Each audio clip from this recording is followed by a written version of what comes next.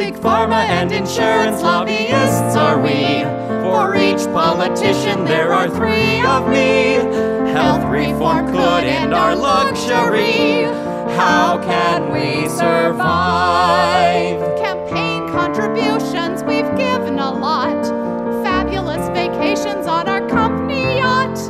A $200 million budget we've got. Single payer reform gives us the hysterics. They'd negotiate drug costs and switch to generics. Private for profit insurance would perish. Oh, how can we survive? While public interest groups ride on the bus to stand out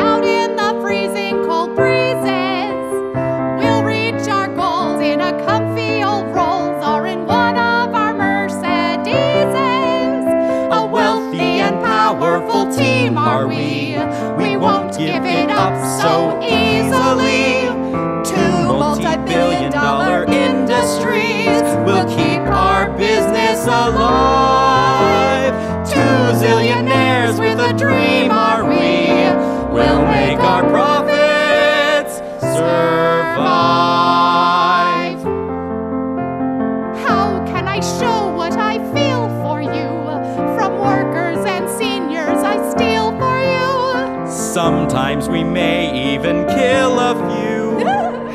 can we survive? We zillionaires with financial affairs make big campaign contributions.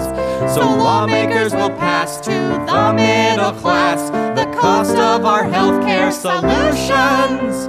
Caught in the winds of change are we? Protecting our wealthy domains are we? Preserving our capital gains are we? We'll keep this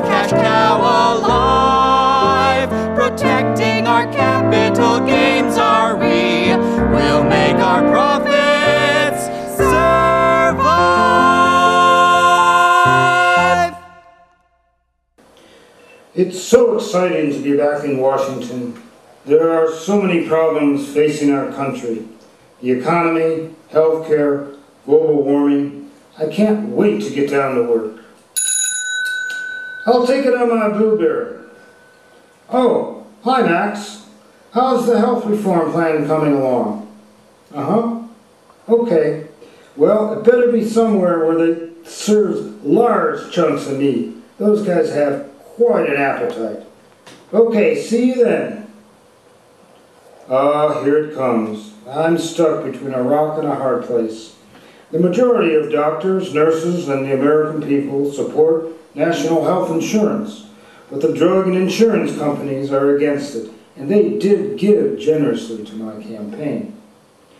So who should I disappoint? The corporations, who gave me $2.5 million, or the 65 million people who voted for change? Change. I don't, I don't hear Change. anything. We want single payer. payer. Single payer. Single payer. You know, with these satellite dishes on either side of my head, I can hear pretty well.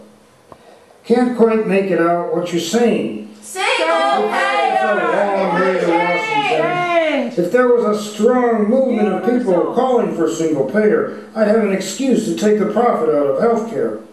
Without it, it would be political suicide.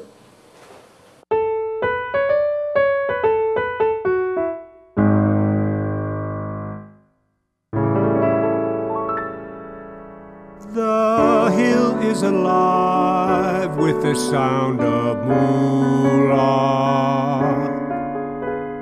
That's how it's been for 200 years.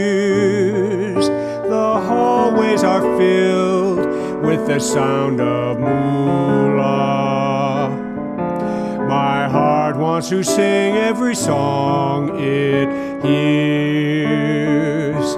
I want to represent my constituents and keep them well and protected. But I've got to raise the funds to get re-elected. The insurance and drug companies have lots of bucks to pay. but we need health reform, and I must find a way. I get depressed, is the question only. Which interest group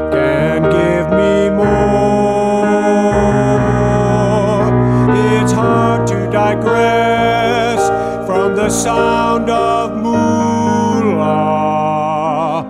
It's a song that's hard to ignore.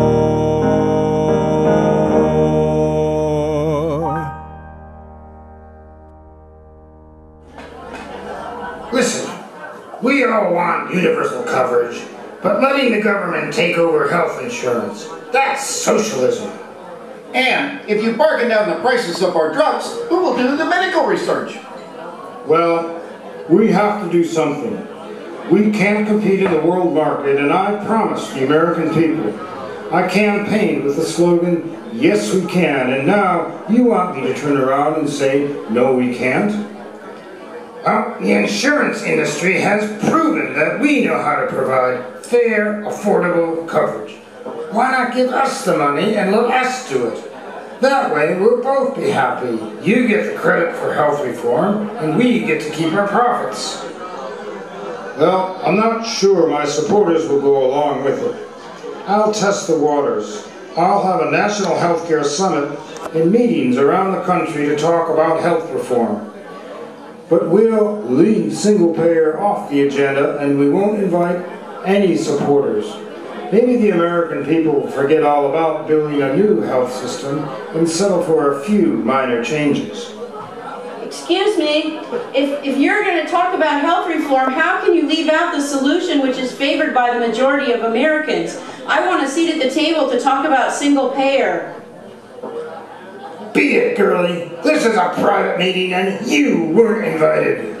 Arrest her for, for indecent exposure. Yeah, and, and she's exposing our, our indecency. Single payer, single payer, health care for all. Oh, goody, there's American pie for dessert. I'm going to have a huge slice.